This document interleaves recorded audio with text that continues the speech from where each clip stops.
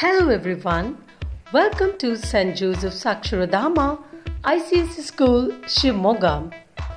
Wearing school uniform is a part of school culture, so it is mandatory for all the students of our school to wear their uniform in the school campus. The uniform for class 1 to 4 on Monday and Tuesday is white half shirt, that is half sleeves, with grey blazer, grey half pant, grey socks, black shoes, and bow for class 1 to 4 and tie for class 5 onwards. The uniform for the girls from class 1 to 4 is white shirt with half sleeves, grey skirt, bow that is grey in color, grey socks, black plain school shoes with ID card.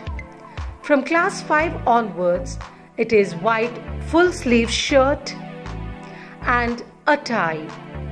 Girls, remember, you need to braid your hair with black ribbons and with black hairband. So, let's move on to Thursday and Friday's uniform. It is white shirt, half sleeves for class 1 to 4, both boys and girls. Then grey bottom, grey trousers for boys, grey skirts for girls.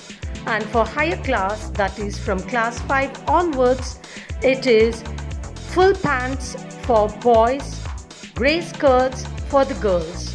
You need to wear the school sweater on Wednesday, Thursday, Friday, and Saturday. You need to wear a tie and braid your hair with ribbons or black hairband for the girls. And on Wednesday, the uniform is yellow t shirt, white skirt, white plain socks with grey stripes, and white plain school shoes. And for the boys, it is white bottom, yellow t shirt with school sweaters, belt, and ID card. The Saturday's uniform is divided into four houses.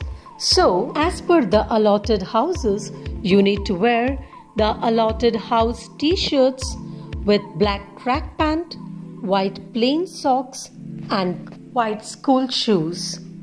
Please note that you dress up well and be presentable. Thank you. Have a nice day.